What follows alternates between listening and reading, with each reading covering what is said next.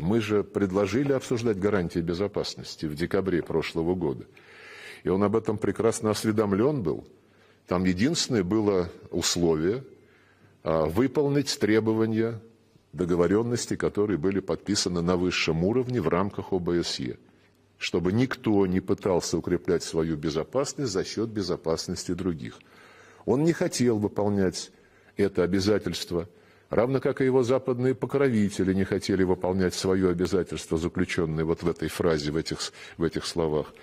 И все твердили, что святым является а, свобода выбора альянса в качестве средства обеспечения безопасности для Украины. Поэтому он сейчас вам просто говорит неправду, врет, по-простому говоря, когда он заявляет, что он готов обсуждать нейтральный статус.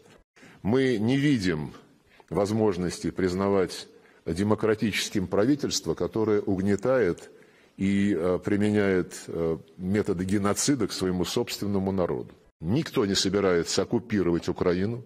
Цель операции объявлена открыто – демилитаризация и денацификация, потому что а, постоянные факельные шествия, постоянные воспевания нацистов, культивирование нацистских привычек в рамках так называемых добровольческих батальонов. Это все протекает при полном попустительстве и молчании, в том числе со стороны средств массовой информации.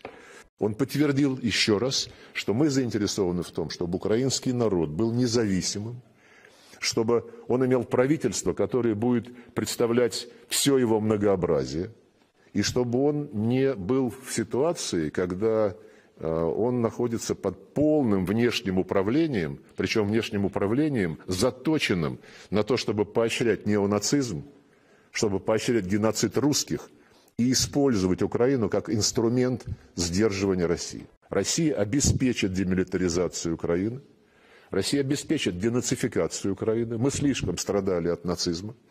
И украинский народ слишком страдал от нацизма, чтобы на это все можно было закрывать глаза и смотреть так легкомысленно.